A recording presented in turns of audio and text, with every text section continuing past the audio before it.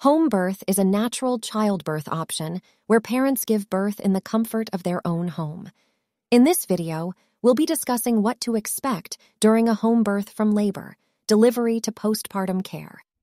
Before the big day, expecting parents need to prepare for the home birth. This includes selecting a licensed midwife, creating a birth plan, and gathering necessary supplies such as a birthing tub, towels, and sterile equipment. During labor, the expectant mother will experience strong contractions and eventually give birth. The midwife will monitor the baby's heartbeat, provide comfort measures, and guide the mother through breathing techniques and position changes. During delivery, the midwife will assist the mother in pushing and successful birth of the baby.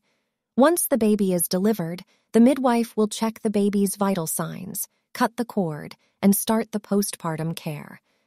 After the delivery, the midwife will continue to provide care for both the mother and baby.